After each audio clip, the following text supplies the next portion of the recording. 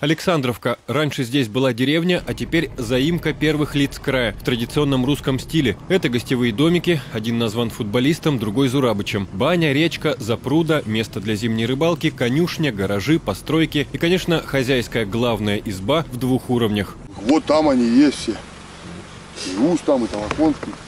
Толоконский уехал, а Ус остался. В соседней деревне Щетинкина его не жалуют. А что там они говорят, на вертолетах летают, да? Да это Ус, ёба. А вот здесь не бывает.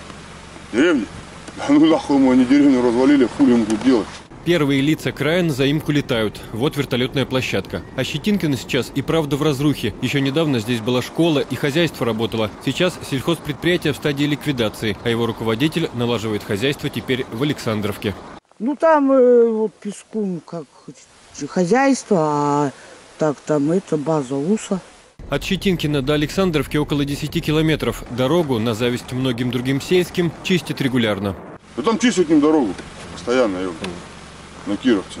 Жители окрестных деревень знают об особой базе в Александровке. Простые люди там не отдыхают. Ну это там частное все, я как понимаю. Мы даже там не были никогда.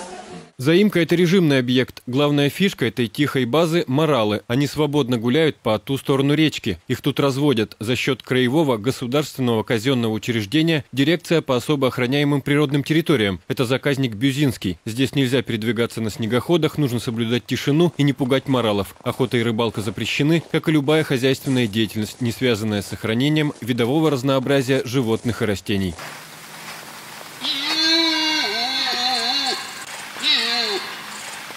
Моролятник построен за счет бюджета в 2013-2014 годах. Более 30 миллионов рублей ушли на загон для животных, на многокилометровый забор, а также дома, баню, камин и 10 унитазов, которые установлены в домиках, конечно же, в интересах моралов. Все это через госзакупки. Работы выполняли подрядчики Руском и Корона. Ну а пока в Александровке на особо охраняемой территории гуляют благородные моралы, в Щетинкино пасутся коровы, и это уже совсем другая жизнь.